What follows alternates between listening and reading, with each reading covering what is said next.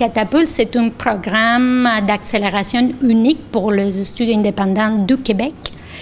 Et ça fait, ça donne un accompagnement, un encadrement pour la mise en marché d'un jeu euh, original, donc d'une propriété intellectuelle québécoise.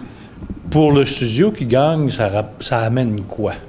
Oui, Concrètement, ça amène un prix en argent, une bourse. Cette année, on a 55 000 en argent comptant.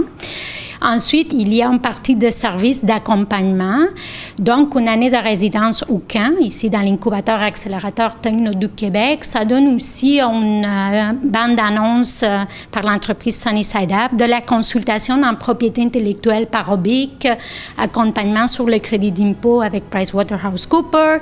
On a aussi un accompagnement en budgétisation par l'entreprise Budgeto. Il y a une consultation en conception sonore de la part de du studio Pic Media. Pour les Ragnats, notamment, on leur offre la résidence, l'espace du camp. Ils ont bien sûr accès à nos experts en résidence, à le service euh, d'accompagnement du camp, mais aussi ils ont l'accompagnement d'une Sherpa qu'on appelle, donc d'une personne dédiée, une ressource dédiée à eux qui va leur rencontrer euh, à chaque mois, qui vont travailler ensemble de jalons de valorisation de l'entreprise et qui va s'assurer que qu'on va chercher le, financement qui va le faire avancer en vitesse, en plus grande vitesse. Donc, on va maximiser nos efforts et notre accompagnement.